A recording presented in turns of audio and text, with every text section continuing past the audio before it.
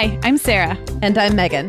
We're two moms with eight kids between us, from little to grown. We're in different areas of the country and in different stages of life. But we both know that motherhood's a lot easier when real moms share tips and encouragement. And remind you that it's really all going to be okay. We're not experts, we're parents who've been there. We're not perfect, we're real. Welcome to the Mom Hour. Hi, everyone, and welcome to the Mom Hour. I am Sarah Powers, one half of your co host team here on the show. Hey, if you are brand new and this is your first episode, welcome. Our show is primarily a conversation between Megan and me. We are two moms with eight kids between us, and we live in different parts of the country and we have super different lives. Well, Megan is off today because every month we publish one interview and we take turns doing those interview shows. So March is my turn, and here we are. Before I tell you about my guest today, a quick reminder that our 2021 listener survey is up and it's ready for you. It's a really fast one this time around, my friends. You can do the whole thing on your phone and you don't even have to type with your thumbs. It's like a multiple choice test that you're going to ace. It really helps us continue to evolve the podcast, and the link is right there in the description area of whatever platform you're listening on right now. Or you can type in themomhour.com slash survey, and that will get you there too. Okay, my guest today needs almost no introduction because if you are a mom on the internet, you are likely already a huge fan of Kendra Adachi, otherwise known as the Lazy Genius. Kendra hosts the Lazy Genius podcast. She's got an incredible library of Instagram videos and a huge community over there. And she's also the author of The Lazy Genius Way Embrace What Matters, Ditch What Doesn't, and Get Stuff Done. So, a little behind the scenes here Kendra is part of a podcasting mastermind group that Megan and I are also in.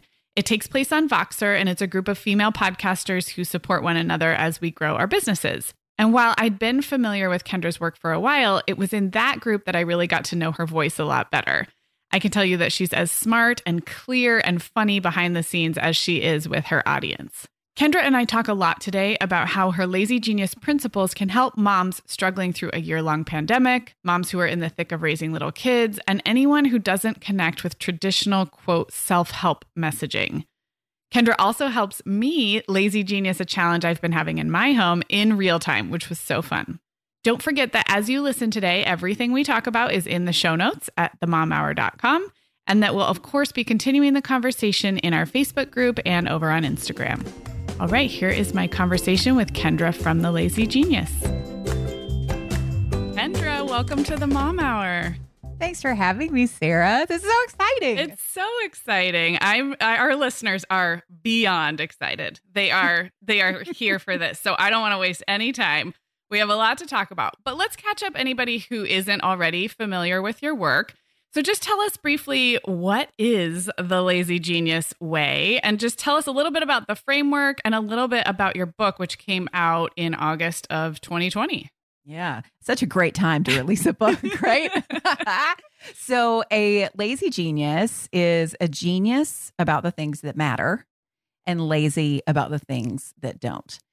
Because everything cannot matter. Right. That's the whole like um, how do you do it all? Well, Right. no one does it all. Like that's that's how. So what you have to do though is instead of trying to be great at everything, trying to be a genius at everything, or when you see that that doesn't work, you swing to the other side and you're like, screw it. I'm not going to care about anything. Right. But you still care. Like it's kind of sad because you actually do care about certain things, but you don't know how to hold hands with both sides.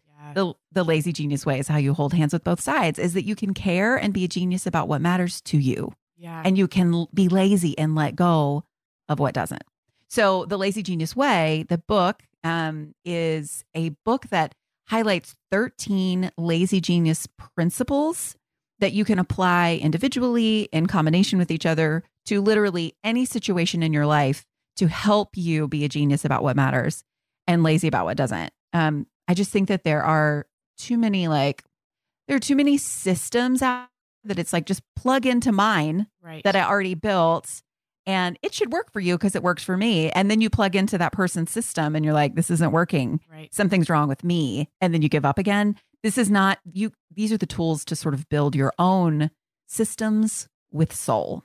I love that. I love that so much. Um, so the book came out mid-pandemic, as we Mhm. touched on. Uh, when did you write it? I'm so curious. Like before COVID, like mid-COVID, did it bridge? Like w- we're now exactly one year from kind of when the world changed. So when were you writing the book? Yeah, I wrote it. I turned it in in like November of 2019. Okay, so it was written It was written completely before COVID.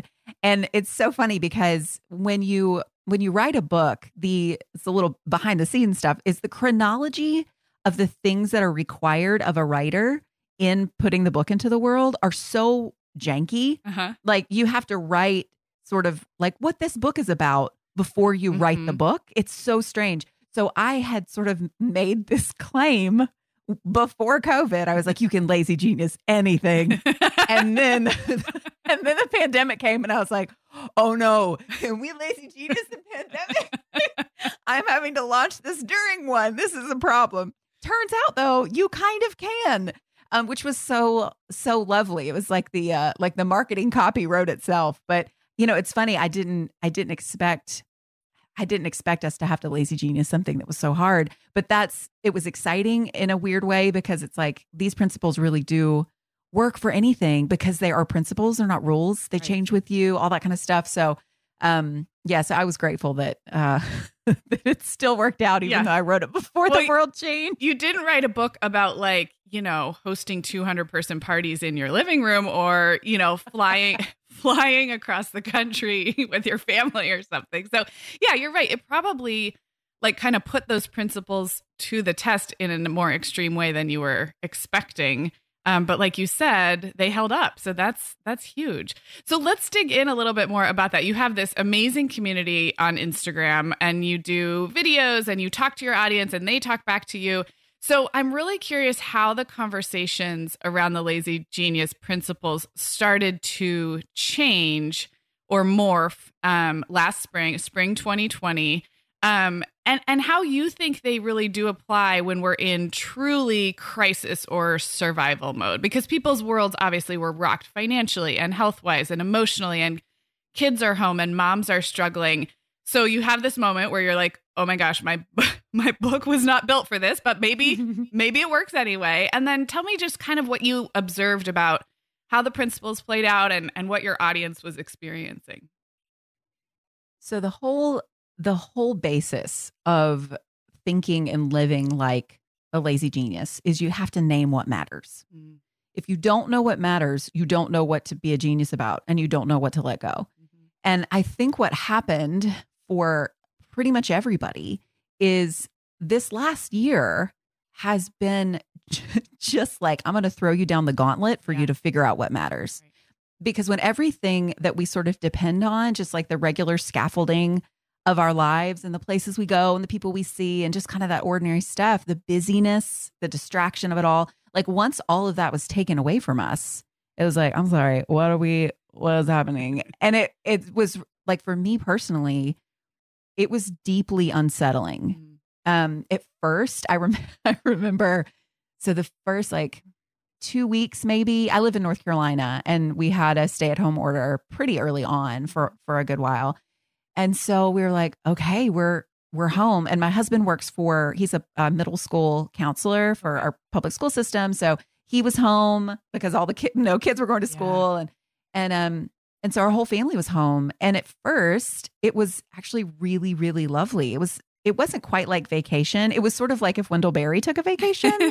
you know, it was like it was springtime. I was reading Jayber Crow by Wendell Berry. It was like the birds are singing, you guys. Let's light a fire in the yard. Let's make soup. Like it was it was idyllic. It was sort of romantic. It was all these things. And then as it got quiet in my house and in my head, I was like, oh, I don't like I don't like this Mhm.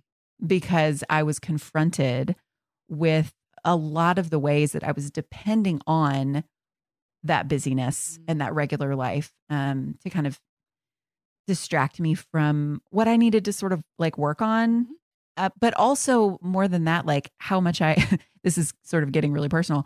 I didn't realize how much I didn't like my parts of myself Mm. until the pandemic started, where I was like, oh, I don't like being around myself. This Mhm. is not very fun. So that's when I went and found another counselor. and, You know, it was good. And Good. but like all these things that it's that's what I started to notice Mhm. in the community was that we were all like, oh, this is sort of okay. And then after a couple weeks, we're like, this is the worst thing ever. Mhm. We can't survive this. And there was no end. There still kind of isn't. Right. It feels really hopeless. And so, what started to happen is we all had to cling to what really matters most. It was like a crash course. And okay, well, if I have very limited resources, I have limited people that I can see, if any at all. We're having to be creative about, we're having to be geniuses about how to connect with people that we used to just be able to like go to their house or whatever. Mhm. And so what it did is it it's made us care more deeply about the things that we might not have named before. Mm. Um which I think is so beautiful and I don't know that we would have really been able to experience Yeah. without something like like the pandemic. Yeah. Not saying we're glad it happened at No. I know. Uh, Yeah, I know exactly what you mean. But that's that's the thing. Like one of the principles in the book that has been the the one that has shown up the biggest in the last year is live in the season. Okay, that's Live in the- exactly. okay, that's so Yeah. funny. Sorry to interrupt. I was going to ask, other than name what matters, was there one that sort of like sifted? Yeah. I'm making a hand motion here that like as you sift, it kind of like rose to the surface. Besides name what matters, and so yeah, so so go into that a little bit more because I was so curious.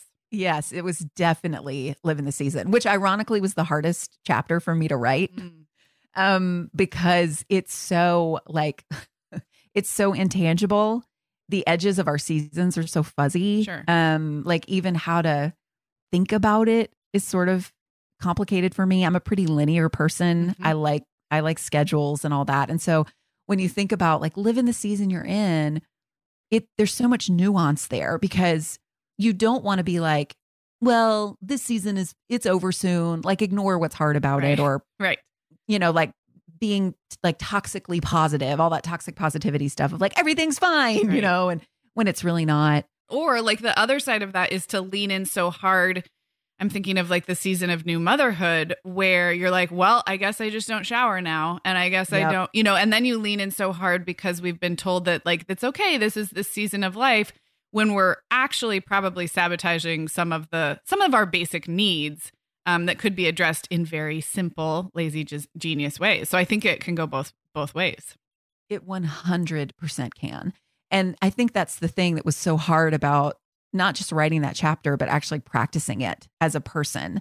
Because the idea of living in your season is to be honest about how you feel about it, you know, like pay attention to your feelings about it, but not let those feelings run the show. Mm-hmm. you know so i i know that your audience has it's moms and a lot of moms that are in those trenches Yeah. kind of at home with and it's i just got i i hated that season like it was so hard for me i i remember i remember when i had my second so i have three kids um i have two boys who are 11 and 9 and then my my daughter is almost 5 so when i um when I had my, I don't even remember which kid it was. It was either two or three because I had more than one kid at the time. And I it was like three weeks in newborn life, you know, where you're just a milk machine Yep. and so tired and you just don't even know what's up. And my sister, she was like, let me hold, I think it was Ben, actually. It was my middle, it was my second kid. She was like, let me hold Ben and you go, you know, kind of do whatever. And I was like, oh, that's great. Thank you. So I put Ben, because Ben had jaundice. My second had jaundice. And so he had to be on like one of those blue light Mm-hmm. machines for 23 hours a day. And so we just had to hold him like wrapped up in this thing pretty much all the time. Mhm. And so my sister was like, well, let me hold him. And I was like, that thank you. That would be really lovely. I left the room. I left the room and I was like doing all these things and, you know, dishwasher and little- the stuff that you do to try to feel like a Mhm. person or whatever. I walk back into my bedroom and it is, she is still looking dreamily at his face. Like she has not moved. Uh-huh. You know, she's just like a, like a painting, Uh-huh. just looking at the baby. And I was like, hey, how you doing? And she looked up at me. She's like, oh, I'm great. Are you already done? And I said, Hannah, how long do you think you've been sitting here? And she said, I don't know, like 20 minutes. It had been three hours Oh my gosh. that she had been just lovingly looking at my baby. And what was so funny is the opposite is true of me. Yeah. 20 minutes feels like three hours when I'm holding a baby. And so, all of that to say, that story is to share. I struggled so much in this those trenches of having little kids, and I think that I pushed away the difficulty because I felt so guilty for not enjoying it. Yeah. I felt so bad. I I remember walking up to a group of moms that I didn't know very well one time and everybody had at least one kid under 2, if not more. And somebody said and my first baby, my Sam was brand new. And um and one of the moms was like, "Oh, this is so exciting. Don't you just love being a mom?" And I said, "No, not really." Not knowing that that was like not an acceptable Right. response in this group of people and they all looked at me like I was the worst person. Yeah. And and one person said, "I've never heard anybody say that before." And I said, "Well, I think then people are lying to you." Mhm. They didn't stay friends with me. They didn't invite me to do anything after that. It's fine. That wasn't a really safe space. They weren't the people for They you. They weren't the people. but I guess that's the thing is I see I was what I what I was also doing though was saying to them if they love that season of having little kids that they're lying if they say they love it Right. which isn't necessarily true. Sure. We all enjoy different seasons of our lives more than others and more than other people do. So, anyway, the idea of living in your season, whether you're in the trenches with little kids or you're living in a pandemic, is to be honest Mhm. about how you feel about it, Yeah. but not let, like you said, not let those feelings be in charge one way or the other. That it's like, I'm going to pretend like nothing's wrong, or I'm going to be like, screw it. I'm, I don't shower anymore. Right. There is a middle of those things. There is. Oh my gosh, that's such a great place to go to break. And when we come back, we're going to really dig into the motherhood stuff and how the lazy genius way can um, help our listeners who are in those trenches times. So, we'll be right back.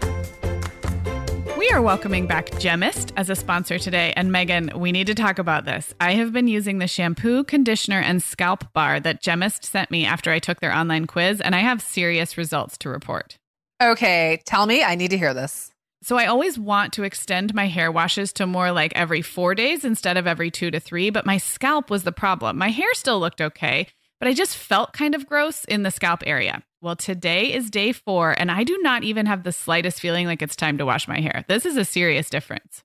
Yay. Well, we shouldn't be surprised because there's a lot of science that went into Gemist's formulas, and that quiz you took helped them recommend a specific one just for your hair. Gemist's was founded by a mom of two who wanted to make it easy for women to find just the right shampoo and conditioner for their hair. The products are shipped to your door, and returns are free within 30 days. Well, if you are ready to have the best hair of your life, try Gemist. Right now, our listeners can give Gemist a try and get 20% off their shampoo and conditioner subscription. Just visit gemist.com to get your personalized recommendation and enter Mom Hour at checkout for 20% off and free two day shipping. That's gemist.com, G E M M I S T.com, and enter the code Mom Hour at checkout to get the best hair of your life. Sarah, this may sound a little strange and very specific, but one of my resolutions this year is to learn how to prepare tuna at home. Okay, well, actually, that sounds like a very delicious resolution, and I need more like that in my life, I think. Right? So pre COVID, one of my favorite things to get when I went to restaurants was ahi tuna. I mean, it's delicious, it's good for you, it makes a great app or a salad or entree. I just love it. So I've really been missing ahi tuna for the last, you know, like year. Then when we started working with our sponsor, Vital Choice, I was like, duh, why don't I just make it myself? But it's the kind of thing I would never attempt if it also meant I had to like track down a fishmonger or try to make a choice at the butcher case at my local supermarket. I just, I have no idea what I'm looking for. So I love that Vital Choice sends the highest quality, sustainable wild seafood right to the house. So all I have to do is say, you know what I wanted to eat tonight? Tuna. And then I go and pull it out of the freezer. And then maybe I add a pepper crust or some sesame mm. seeds and then sear up them steaks and dunk them in soy sauce. Okay, so I know what I'm doing later. I love this. Well, I didn't even know I wanted this, but I may also be having ahi tuna tonight. If you at home are also feeling the ahi tuna love and want to try to make it yourself at home, check out Vital Choice.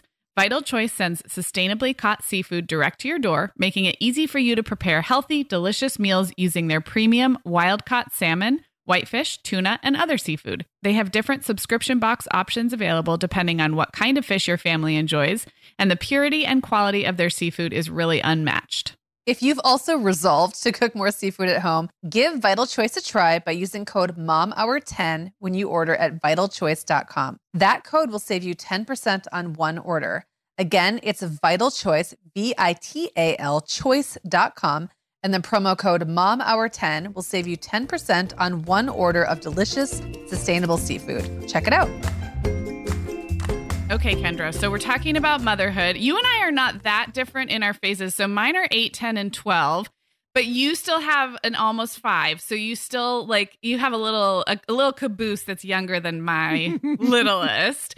Um, and you said 11, 9, and almost Yeah. 5, right? That's right. That's right. Yep. Okay. Well, our listeners have kids of all ages, and we do have listeners with teenagers and tweens, but a lot of them are really in it in this phase of not just that new mom like overwhelm, but then like you said, like then you add another kid and and you're you already have some commitments. Maybe you had preschool or play groups going on, and you're like, you are in it, and then you keep adding more babies, as tends to happen. um, so here's, I just want to share like how I felt about any kind of like air quotes self improvement messaging when I was in that phase. I had three relatively close together, and I am an Enneagram one, and I believe you are as well. I'm sure Yes. we have a lot in common there. And we've already touched on the all or nothingness, but that was very much, very much me. So I think I was okay at letting go when I needed to let go. I was, I'm actually, for an Enneagram one, I'm pretty good about things like dishes in the sink or getting a little behind on the laundry. But what I, what I really resented was any kind of self improvement message at all. And I was, it was working in the, like, I was in the early stages of blogging and writing and working for other bloggers. I was working with Megan at the time, who's Megan is only two and a half years older than I am, but she's te- more than 10 years ahead of me in motherhood because she started really young. So she was, I remember I was working for her on her blog and she was writing about things like, you know, packing lunches and getting, you know, um, staying organized with hand me downs for the kids and even gentle stuff like that. I just had a real knee jerk reaction against because I didn't know how to make minor, gentle improvement changes work when I was so in the trenches of little kids. So I wonder if you can relate to that, first of all. Mhm. Um, and then just if the lazy genius way maybe could have helped someone like me or someone listening who relates to that kind of all or nothing thinking. And and I'll just say one more thing is I I could have benefited a lot from small improvements. I'm not I am an Enneagram 1, but I'm not a great home manager. Like I really didn't have great systems for cleaning and organizing. Um I'm more of a my oneness comes out more in in schedules and work and details and things like that. So, man, I could have used some really gentle coaching, especially around taking care of my home. Um, and I just, I rejected it all. I just thought that's not for me right now. So I guess I was accepting my season, but then I was stopping there. Mm, Yeah. No, that makes every single word of that makes sense. yeah. I'm like, uh huh, uh huh. I got it. I got it.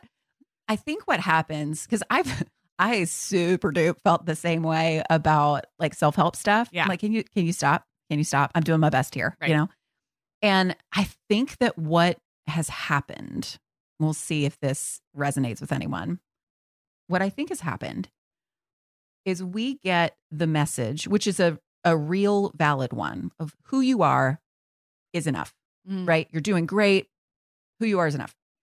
And, but what happens is when someone, whether we know in real life or just follow on Instagram or whatever, says, here's this thing, try this thing. Or you're given a self help book. I love Right. when people give other people Lazy Genius Way. I'm like, are you sure? Do you have a close enough relationship with this person that they might not know? They might not know what's inside these pages and are going to feel really bad. Um, what happens is we connect how we run our lives to how valuable we are as a person. Mhm. And so I think that maybe your resistance, I know my resistance to that whole idea of when people would say, like, yeah, maybe you could just like make this adjustment. Or, you know, my mom would make a suggestion about something. A friend would come over and say, Have you tried this? And it went to the core of my being of like, Are you telling me I'm failing? Right. I'm failing at this, right? Yeah. I'm failing at this. Rather than seeing like our humanity and being a mom and just like being a person trying to do our best, Mm-hmm. our movements towards improvement, our mo- those small things towards just making the house like flow a little easier or whatever are not they are not in an effort to make us more valuable people. Mm, They that. are not in an effort to make us like some ideal version of ourselves. They're just trying to make our life easier. So we're not like as tired at the end of the day Right. Or we're not as stressed or it's like there's something about there's something about an expectation that if you experience a day where like things are really good Mhm. you know like you're in the flow with taking care of your kids you don't resent you don't resent playing like you somehow are able to play with them for like an Right. hour and it's like wow that was not as awful as it usually is or whatever. Yep. you know and you have this day that feels like such a good day. What you do then is you measure every single day against Mhm. that day. And so if every day doesn't match that you're failing. And we have got to stop that. Yeah. we have we have just got to stop that. And we also have to like sort of give ourselves permission that you can make little um you can try to make little changes to maybe like make it so that dinner is a little bit easier to get on the table or you know whatever like you might experience something on this best day and you're like I'm going to try to replicate that and see if see if it works again. But if it doesn't don't beat yourself up. Right. it's like it's just a different day. Right. maybe that strategy isn't it works for you know a couple of days in a row but it's not anymore or whatever. Like there's just no there's not no. That's not fair. There is often very little grace Yeah. and kindness toward towards ourselves to separate our movements towards having maybe an easier more pleasant life that is aligned with how we want to be in the world Mhm. how we want to be with our kids how we want to experience our home there is very little space for us to not let that dictate how we feel about our our value Mhm. as a human being and that's just gotta that's gotta stop. Yeah. That's gotta stop. Or we're Yeah. just get like you said we're gonna keep sabotaging our what really would be great things Right. that would make our day easier like taking a shower. It's like you don't have to just be like well if i'm taking because here's what happens. If i'm if i am a mom with a kid who's uh i've got a three year old and a one year old and oh man i just found out i am pregnant and you go to target and you're showered and you have lipstick on you're going to get attention for having it all together and then when you go to target the next day Yeah. because we do it every day you go because what else are you going to do when you have little children at home? And you go the next day and you're dirty and you're not wearing lipstick you're like oh i'm a failure now. Right. like i'm not doing this right anymore. I should be able to do that every day. And that's just not the case. And then the other the next part the next thing that we do is we see like if we're like dirty hair don't care day and then we see a mom in our similar life stage Mhm. who is showered hmm and does look cute we're like she's trying too hard Yeah. Right. Right. it's just we're cruel to each other and to ourselves in those expectations because we're putting too much value on those choices to determine how important we are as people Right. and they're separate they're separate things You're so right. And I think a, a layer that gets added to that is when we feel vulnerable and defensive, um, we cling even tighter. Megan and I talk about this a lot. When you feel insecure um, and vulnerable, you cling even tighter to whatever this constructed motherhood identity that you have is, whether it's the pulled together mom with no cracks in the system and the pretty meal plan, or the hot mess mom who's dirty at Target. And and rather than seeing that as like a continuum on which we are all like floating each day, sometimes Yep. more to one end and sometimes to the other and sometimes in the middle, when we feel overwhelmed and vulnerable, we tend to cling to whichever kind of cartoonishly exaggerated cutout we are clinging to. And then that's when I think that judgment of others and really harshness on ourselves comes out even more. So I love everything that you just said.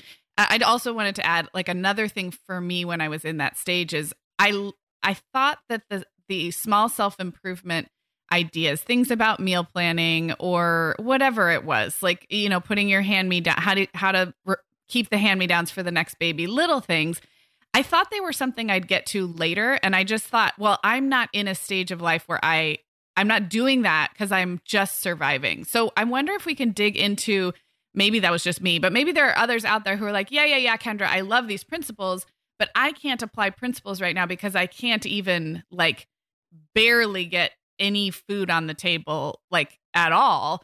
So I don't I don't need principles. I just need to get through this season and then I'll read The Lazy Genius. Instead, can we flip that around a little bit and talk about and you can feel free to bring up specific ones of the 13 principles um, that maybe when you are in survival mode and you you are in this very raw place how a couple of these principles now now is the time to use these principles you don't need to wait till you have your you know what together Yes. So and and also by the way, no one ever has all their know you know what together. Right. Anyway, it's like we think that that's like what's going to eventually happen and it doesn't. Like it just doesn't. Right. So I feel like the sooner we let that go, it's like okay, we're all just doing our best every day, no matter if, how old your kids are. It's just the challenges are different. mm-hmm. Um, but yes, this is. I wish that I had had this book when I had my two boys two years apart.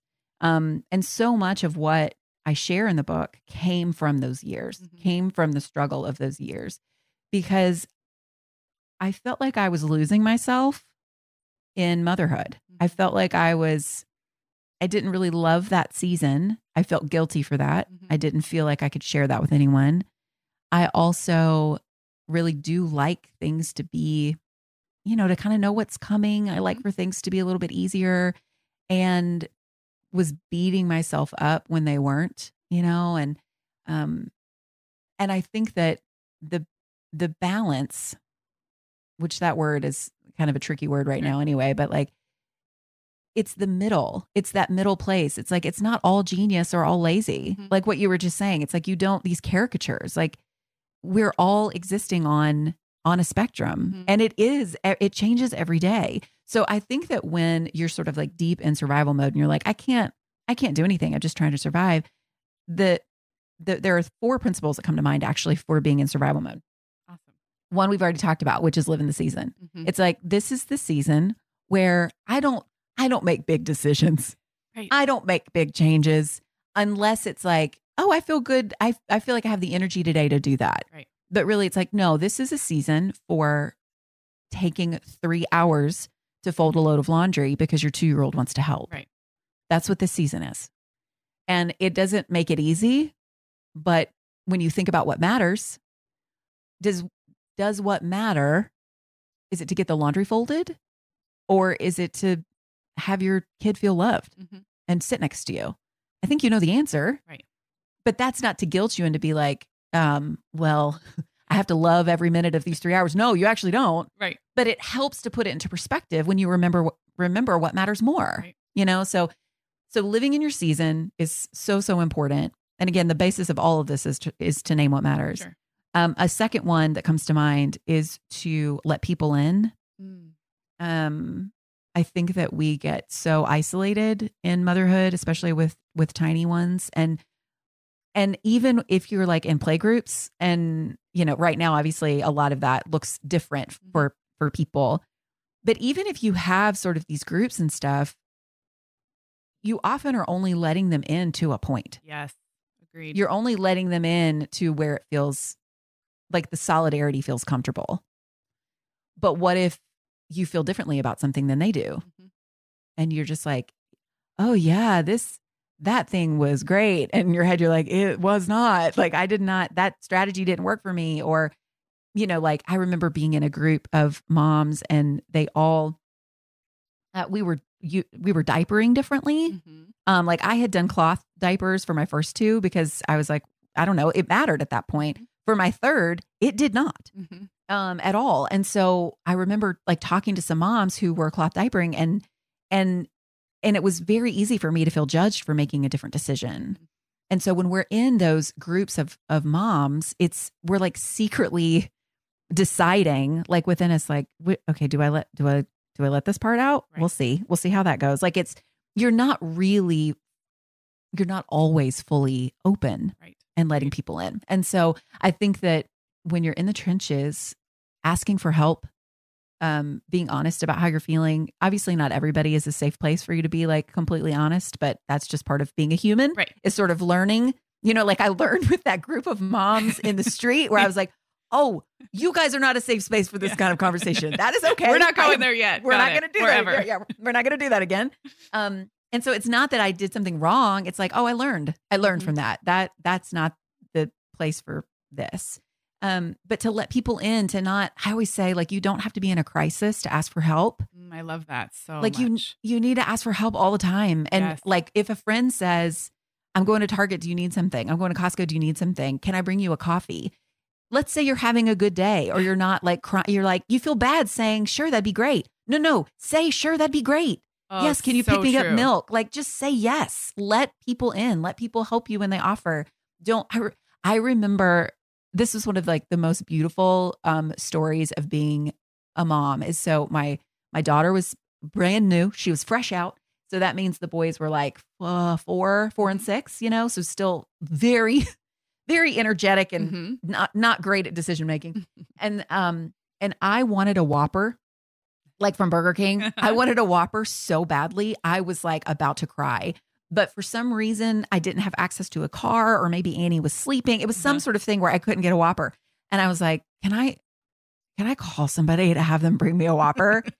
and I texted my friend Amy who lives in the neighborhood who had older kids than me. So I knew that Right. she, you know, we don't even really talk that much. She she's just like one of those friends that when I see her, I really love being with her, but Right. it's not like we're in each other's lives every day. And I texted her and I was like, "Hey, so like, are you busy? Would you want to bring me a Whopper?" and she was like, "I'll be there in 10 minutes." And she brought me a Whopper and a Dr. Pepper and we talked in my driveway for like 5 minutes. I don't think I saw her for like a year after that. Like That is And it was- amazing. the most connective thing like i still remember that as one of the dearest moments like it makes me want to cry like that she showed up for me and she didn't make me feel bad about it she was like a whopper She like probably loved it actually. Right, Like often, right. especially if we're a little bit ahead of someone, we kn- we know We she probably knew exactly that stage you were in, but we don't always Yeah. know how to ask and we don't want to we don't want to like have our offer to help be one more thing on the new mom. So she probably to make her feel like she's doing something wrong. we're like how can i help or whatever it's just it's so complicated right Oh, I would love to be asked. I mean, I would I would be the same. I would hop in my car. Um that would yeah, I love that. I love that Right. story. So letting people in like just this is the this is the season to practice that Yeah. in small ways because what happens is if you wait for a crisis to ask for help you often don't know who to ask Mhm. because you haven't connected with anyone over those th- over those little things so um let people in let people in let people in Mhm. um another one which is feels impossible um it- when you're in the trenches but is this is, might be the stage where it's the most important and that is to schedule rest Mm. not just rest but like schedule it like you need to schedule it um and in the book i i kind of lay out like sort of different ways to look at that where it's um daily rest um maybe weekly maybe seasonal rest but Mhm. then also just like on the inside Mhm. like how you're feeling on the inside. And and i think that's the one that's sort of the most important to grab onto is like when you feel like my friend emily uses the phrase um sitting down on the inside Mm. like i want to be sitting down on the inside not like running around and Yeah. i feel like i'm always running on the inside Mhm. especially when you're in that season of life Mhm. um i think that's actually one of the one of the difficulties that isn't really articulated very often is that that stage of life when you have little kids at home is so slow Mhm. in so many ways you're just like we're just here again Mhm. like we're doing the same thing again and it doesn't feel like you're you've got anything to show for it Mhm. but on the inside you are like manic i mean it's just constant and and so to think about how you can rest on the inside um and i think there are different ways that that people can go about that because we're all different people Mhm. naming what matters and remembering what matters in that moment really helps Mhm. to kind of calm all the things that you're like, well, I should be doing this, or I Yeah. can't believe I'm doing this, or I hate this, or whatever. Like remembering what matters helps slow the speed a little bit. Um, but I think another thing that we forget to do, and it's really important to do when you've got little kids, is to know and then do what makes you feel like yourself. Mm, yes. We don't know we that's why we lose ourselves. Yeah.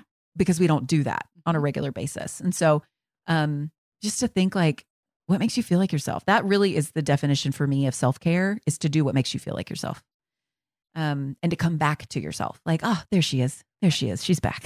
I love that. I love that. And if you are a scheduley person like you are and like I am, one of the things that I'm learning now at 41 is that I can use my gifts as a good time planner and and project planner and scheduler to um apply those to things that are a little softer and gentler like scheduling rest or like Mm. looking at the week ahead and building in uh, play or creativity. And it took me, I mean, forever because I've only applied those things to things like work and nap schedules and meal Yeah. plans. Um, but if you are someone who comes naturally to schedules and structures, I just love the idea of flipping that around and being like, great, I'm going to structure myself into a place of calm or into a place of play or creativity or rest. So I don't know why it took me so long to start thinking of it that way. But not all scheduling has to have productivity or achievement as its output, if that makes sense. I my hands are in the air. Oh. Yes, it makes perfect sense. Yeah. And more people need to be saying it because we just like this is why um so many moms that I talk to and hear from feel guilty when they're like I I want to like I want to go to a bookstore by myself. I want to go browse the used bookstore for a couple of hours by myself and they're like if they're, you know, if you're married, if you have a partner, you're like, is it okay? Like, can I go? Right. And then you apologize when you leave. You apologize when you come home. If it was hard, you're, you know, it's like, this is the whole like, um, when you call your partner uh, a babysitter, like if you, Yeah. if you're a stay at home mom, um, and you have a husband, you tend to like, well, he's going to babysit. It's like, no, he's Nope. going to be their dad. Yeah. That's not a thing. Yep. Yep. Dads are not babysitters. Yep. So, and you don't have to feel badly taking that time for Right. yourself. You know, we just, we do, we just feel so bad. It's like, should we not need it? You know, do we feel badly because we feel like we shouldn't need it? Right. We feel badly because um, there's something like wrong with us if we want space from our kids, if we enjoy time to ourselves. That's garbage. You know, it's like we have all of these lies. Right. Somebody else, like the next door neighbor, has it even harder because she works two jobs and has twice as many kids, and she doesn't seem to need it. So why should I? That's a- that's another big one. Yes. Um, and I also want to say on the flip side, because Megan and I do this a lot because we're so opposite. And Megan is not schedule oriented. She's very intuitive and goes very much with her own energy pattern. So if you are listening and you are a mom who isn't schedule oriented, um, I think there are just as many ways to honor rest and to honor your own energy patterns without it having to look like the same kind of schedule that Kendra or I would put together. And those lazy 100%. genius principles of scheduling rest, I would imagine, can work no matter how you approach time and time planning, right? Maybe a different word for that would be choose rest. Yeah. just Love that. choose it choose it um and i you know i think it's even simple things like if let's okay for me music makes me feel like myself listening to music that i love it just makes me a different person um so does walking outside just like trees and air and Mhm. it's so happy and if i do those two things together i literally am a different person Mhm. I sometimes I'll text my husband, even you know now. Obviously, I'll text my husband and I'm like, um, so when you leave for work, we are we're tapping out. We're gonna high five, and I'm gonna go out. I need to walk. I need 20 minutes, and he's like, got it. And I feel like a different human when I return. It's like I feel like myself. It's not different. I feel like myself Yeah. again. And so, just thinking about when you're home with your kids, like let's say music calms you down. It helps you sit down on the inside. No matter it could be Demi Lovato. Like it doesn't have to Yeah. be quiet music for that to be the case. But let's say that there's music that makes you feel like yourself and more calm. You could um, create. Uh, there's a principle called house rules. You could create a house rule, and it doesn't have to be like a harsh word. Rule is not a harsh word. Um, it's just more like, hey, this is a choice we've made Right. as a family. You can make a house rule where it's like, um, okay, Timmy, Timmy, you get to pick the music in the morning and mommy gets to pick it in the afternoon or whatever. And it's like, that's what we do. That's our rhythm Yes. together. We both get to choose. And so you have that kind of built in where you're like, oh, yeah, it's you get to have your turn again tomorrow. Aren't you excited? Now it's Right. mommy's turn. And, Yes. you know, like it doesn't have to be like this really big, grand thing. It's just like, how can you experience yourself Mhm. each day?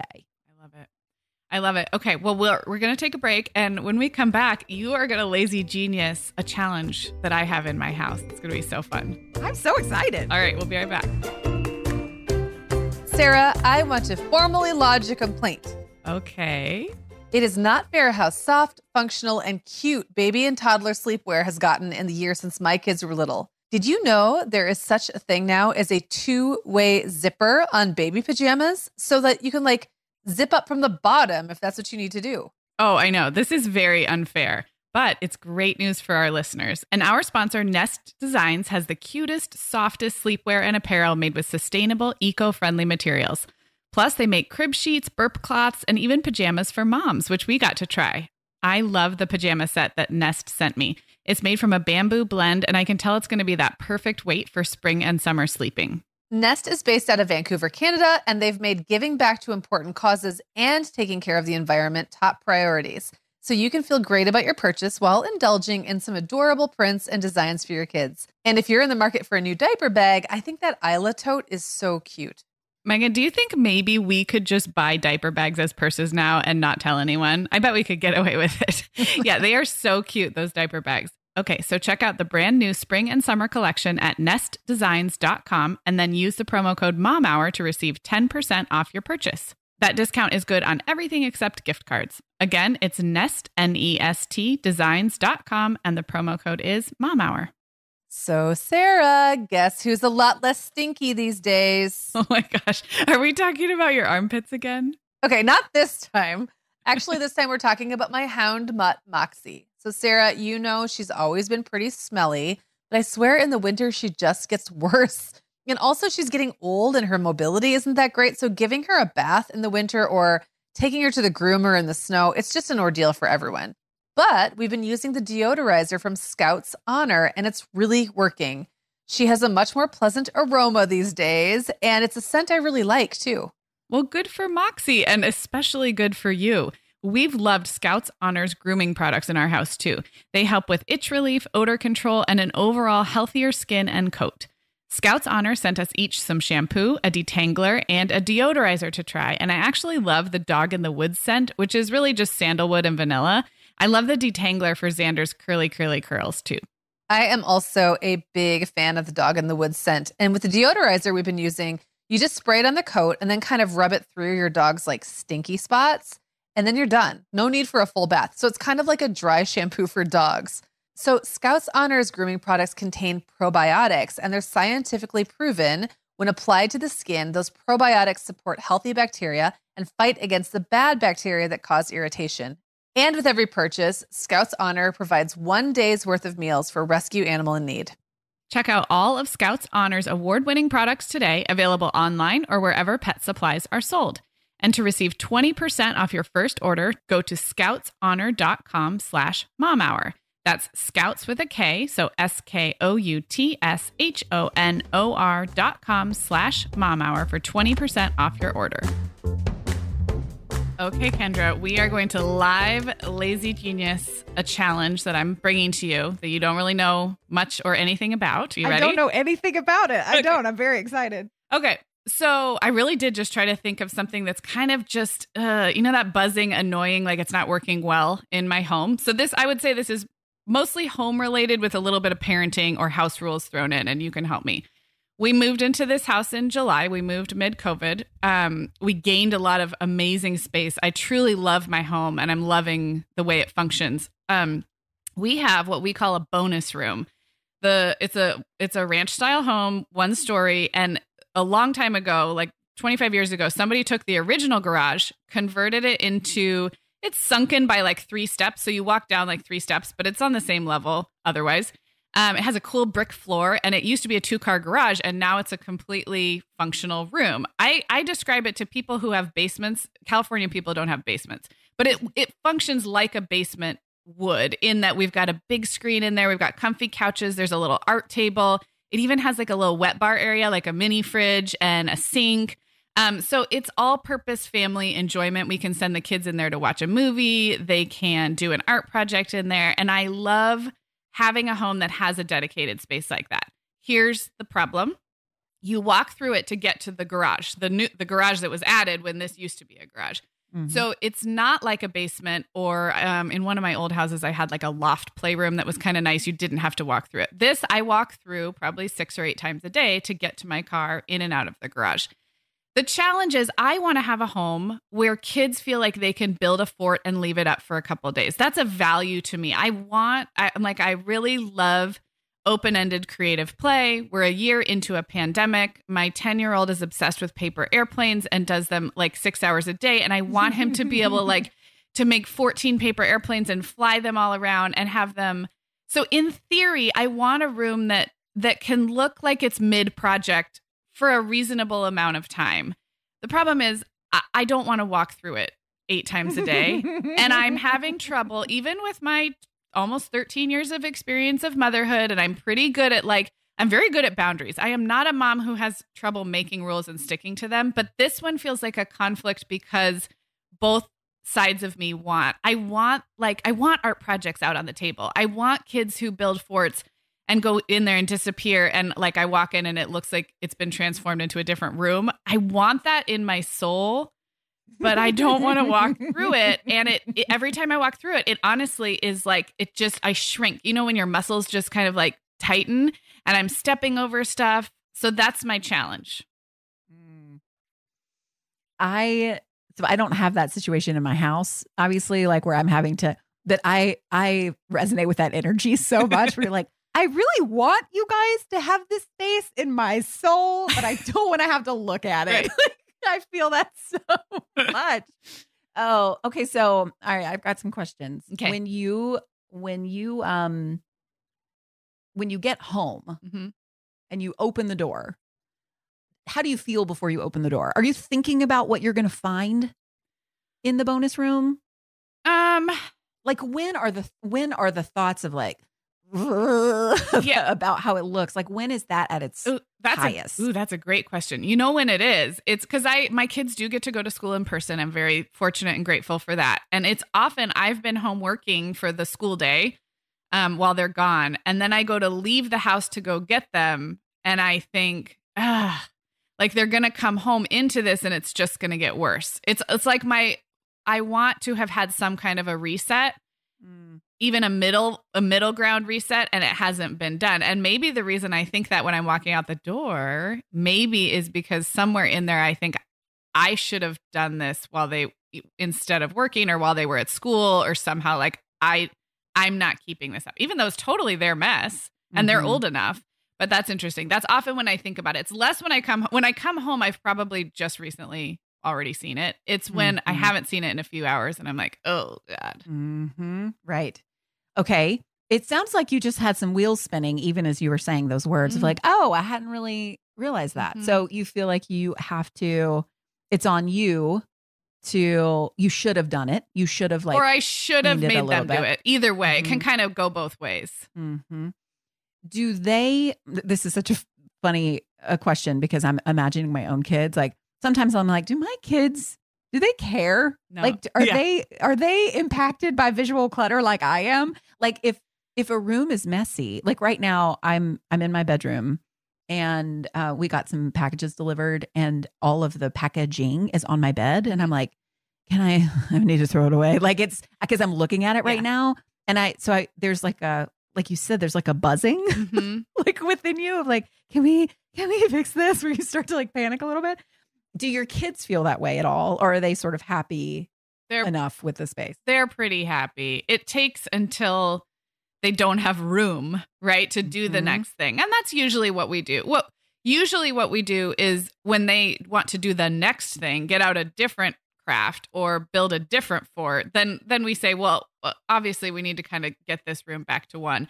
So I think I think what I'm looking for honestly, sometimes it's just the footpath. If I could walk through Mhm. and not be kicking paper airplanes or dirty socks. So it's like I think Yep. that's what it is. It's like there is a middle ground in there somewhere where they can leave projects out and I can I could be fine without it it doesn't need to be perfect. But I haven't found that middle ground. And I haven't found the way to include them in those expectations. Mm-hmm. Well, I have a couple of a couple of thoughts. Okay. We could a couple of principles we could pull out. Yeah. One is um, there's a principle. I wish I knew the numbers. I don't remember the numbers. We'll pretend it's number seven. Okay. Um, there's 13 of them. It doesn't matter. Um, but one is put everything in its place. Now, your there are certain spaces and in our homes where, like this bonus room, where everything in its place is like wherever it lands Right. in many ways, because that is sort of the general purpose of the room. Right. Is that it's okay that things are out. You know, like you said, like that's actually something that you value. Right. That that matters to you. Um, so but what we kind of do, it's sort of like that all or nothing again, where it's like, well, everything's just gonna be trash all the time Right. or everything has to be in labeled bins. Right. So it's more like thinking about sort of a middle ground of that. Mhm. If there is, like, if you notice that there is a consistent type of thing Right. that's in your way, and just go, like, is there a better place for that? Yeah. Maybe that thing is out because there's no place for that. Like the Mm. paper airplanes. Yes. Like, um, maybe if we had like a hanger, you know, like if we make, here's this basket yes. kid I love. Like when you, I don't want you to throw away your airplanes. Here's this giant basket. Put them in here. Right. Like when you're done, if and, and see if that clears your footpath. Like Yeah. give it a place. So, because sometimes things are out because they just don't have a place. That's so Um, true. So that's one. That's one thought. Another thought, um, and this combines house rules and then uh, build the right routine hmm let me say a word about routines real quick. So, a lazy genius routine is not like I'm going to do these five things in order every single time. A routine is really an on ramp to a goal. hmm And so, if you name what you're after, if you name where you want to go, the steps that you take to get there are secondary. hmm So, like, if you want to feel like yourself in the morning, you don't need to have a morning routine where you like do all these 10 things. Because what if you oversleep and then you're like, well, my routine is screwed? It's like, no, no, no. The goal here is you just want to feel feel like yourself before everyone wakes up. So just like make your coffee and listen to a favorite song while you make your coffee. One song, it's four minutes. Right. And then that's like enough kind of thing. Like pay attention to where you're actually Yeah. going. So if you think about what you're after, not for the purpose of the room, because you've already named that. Yeah. But like for you, Yes.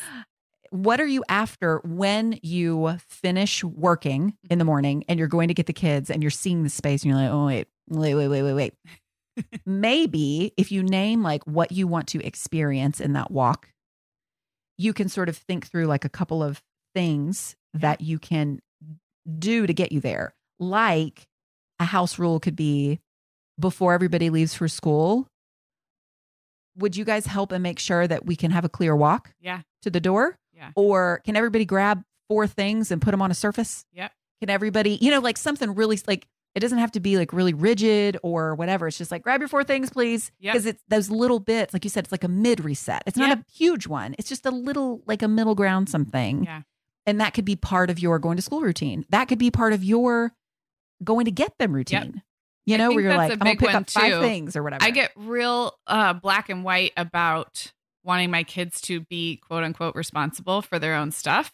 To almost to, I think some moms have the other problem and do and you know clean up after their kids constantly. I, again, I think there's probably a middle ground. Like if my mental health is better because I just decide that in this season of life I pick up my 10 year old socks from the floor Yep. and he's learning responsibility in 14 other ways. yeah. I actually it would be it would take one second and I would be happier. But because I think like I have to raise a kid who picks up their own socks, then I leave the socks there, feel grumpy, forget to ask him later. Do you see what I'm saying? Like yes, I 100% Yeah. what you're saying. so it's like it starts with faulty logic. Like Yeah. he's only going to learn responsibility if if the, in this season of life he always picks up his own socks and I therefore can't or should not do it for him. So yeah, I'm having all kinds of all kinds of like epiphanies as we're talking. I love Mhm. it.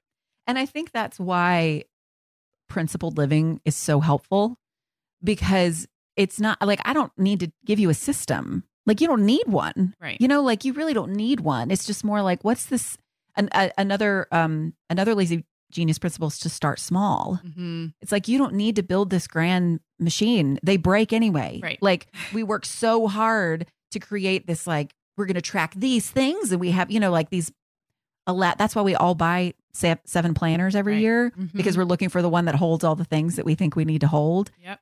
and we're building this big machine and we spend more energy maintaining the machine than we do experiencing what we hope the machine gives us. Right. So if we just start small, it's like, oh, okay, Yeah. that feels good. Like I'm gonna pick up the socks. Yep. We're gonna we're gonna scooch we're gonna scooch those paper airplanes to this corner of the room, Yep. and then they still are experiencing the room that holds the value that you've already put to it, Mhm. where it is a room that can be mid project, Mhm.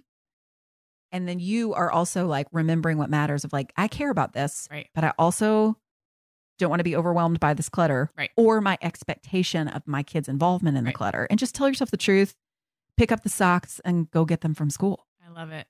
I love it so much. Yeah, I, my wheels are already turning too. That I realize I've conflated all kinds of clutter equally. Conflated is the wrong word. Like I've assigned an equal value to all types of clutter in that room. Yeah. And I bet if I kept digging, if we had another hour to analyze, I'd realize that there's probably one or two. Dirty socks has already, like, you know, Yep. reared its ugly head, but there's probably one or two types of clutter that are particularly triggering for me where if i if i zeroed in on that and it's almost like naming naming what matters in the opposite direction naming what is really irritating me versus ass- assuming that i have to have it completely clean to feel good so yeah there is a there's a, a principle called uh, essentialize. Yeah. And the way that you there are three steps to essentialize is you name what matters. Number one. Mhm. Number two is you calm the crazy. Mhm. And then number three is you do whatever feels right next. So you're and you're absolutely right that if we just sort of calm what's crazy in our heads, in the space, in the conversation, like whatever it is, like it's amazing the space it opens up. Like Mhm. it's it's almost like an exponential sort of thing. Whereas if you go into that room and you're like, what in here makes me crazy? Right. It's not the fact that the room is messy. That's Right. actually not really what it is. Right. But what about it? Exactly. And if you name what that thing is, and then you create a routine or a house rule or a start small or Mhm. a reminder of living in your season for that particular thing and calm that crazy, it really does change everything. Yeah. I love it.